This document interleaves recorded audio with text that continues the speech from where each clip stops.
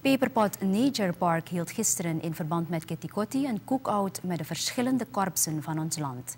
Het Korps Politie Suriname, het Korps Brandweer Suriname, het Douanekorps en het Nationaal Leger deden mee aan de activiteit die werd gehouden in het Paperpot Nature Park te Kammerwijnen. De korpsen hebben behalve lekkernijen zoals peprewatra, pindasoep en rotidox het aanwezige publiek ook voorzien van voorlichting. Het Peperpot Nature Park heeft als doel behoud en bescherming van de natuur, geschiedenis en cultuur van ons land.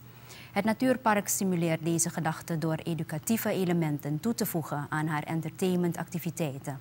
Volgens Sherida Mormon, bestuurslid van de stichting Peperpot Natuurbos, hebben de verschillende korpsen enthousiast gereageerd op het voorstel van de organisatie om mee te doen aan de cookout.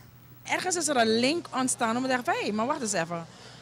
Zullen we deze heren die zorgen voor veiligheid um, en bewust maken van mensen over veiligheid, hun eigen veiligheid en veiligheid van hun omgeving, zullen we ze niet erbij halen. En, en, en daar is die spark ontstaan. Dus eigenlijk Omid Makandra, brandweer, peperpot en we hebben de rest erbij gehaald.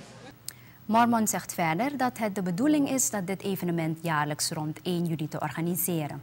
De lokale korpsen worden vooral gestimuleerd om mee te doen aan het evenement.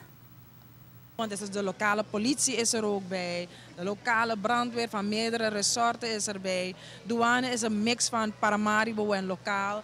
Um, en, en, en dat willen we steeds nog blijven bevorderen. Dat niet alleen maar, uh, dat we nu alleen, uh, ook een heel andere doelgroep interesseren voor onze cultuur en natuur. En bescherming daarvoor. Aldus Sherida Mormon, bestuurslid van de stichting Peperpot Natuurbos. Peperpot Nature Park hield gisteren in verband met Kitty Kotti een cookout met de verschillende korpsen van ons land.